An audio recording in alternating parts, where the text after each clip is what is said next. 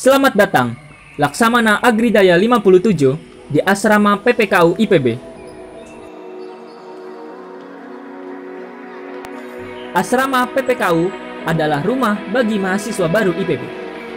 Sejak 2002 atau angkatan 39, IPB menerapkan kebijakan agar mahasiswa baru tinggal di asrama selama satu tahun. Asrama merupakan ekosistem yang tepat bagi mahasiswa baru agar lebih mudah beradaptasi, terbangun karakternya, dan dapat menjalani kehidupan tingkat pertama di kampus dengan baik. Sebagai mahasiswa baru, di sinilah mahasiswa tinggal, mengenal teman dari berbagai daerah di Indonesia, beserta ragam karakter dan budayanya, mendapatkan pembinaan, mengembangkan diri dan kreativitas dalam rangkaian bernama Program Pembinaan Akademik dan Multibudaya atau PPAMB. Asrama PPKU dahulunya bernama Asrama TPB. Nama ini mengikuti program akademik tingkat pertama di IPB yang dahulu bernama Tingkat Persiapan Bersama dan sekarang menjadi Program Pendidikan Kompetensi Umum. Asrama PPKU IPB terdiri dari 10 bangunan. 5 gedung asrama putri yaitu A1 sampai A5 dan 5 gedung asrama putra yaitu C1 sampai C5. Biar gampang, suka disebutnya Astri dan Astra.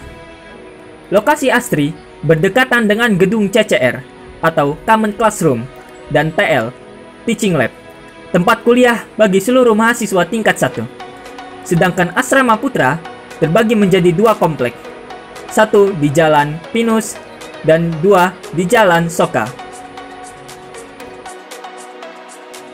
Asrama Putri A1 sampai A3 dan Asrama Putra C1 sampai C3 adalah gedung yang pertama kali dibangun.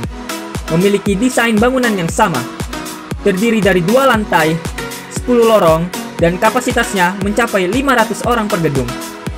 Di gedung-gedung ini, kamu bisa berempat dalam satu kamar. Seru bukan? Asrama Putri A4 dan A5 berbeda dari yang lain. Gedung A4 lebih dikenal dengan nama Rusunawa. Memiliki lima lantai, sembilan lorong, dan dapat dihuni oleh 400 insan asrama.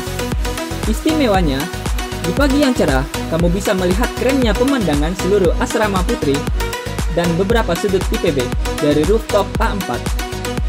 Tidak berbeda jauh dengan gedung A4, gedung A5 juga memiliki julukan tersendiri, yaitu asrama apartemen. Terdiri dari lima lantai 10 lorong, dan jumlah penghuni lebih dari 400 insan asrama. Gedung ini memiliki desain yang lebih modern, yaitu kamar mandi dalam, toilet duduk, balkon, dan tempat jemuran tersedia per kamar. Gedung C4 dan C5 letaknya terpisah dari komplek C1 sampai C3, terdiri dari tiga lantai, 5 lorong, dan dapat dihuni lebih dari 400 insan asrama. Kelebihan dari gedung C4 dan C5 dibandingkan Astra adalah kamar yang luas, mempunyai balkon tersendiri, lapangan voli per gedung, dan lebih beruntungnya lagi adalah C4 dan C5 dekat dengan Masjid Al-Huriyah, salah satu masjid kampus terbesar di Indonesia. Apa pun gedungnya, pasti ada istimewanya dong. Selamat tinggal di asrama PPKU IPB Mahasiswa baru yang dibagi untuk menghuni lorong-lorong pada tiap-tiap gedung ditemani oleh seorang senior resident atau SR per satu lorong.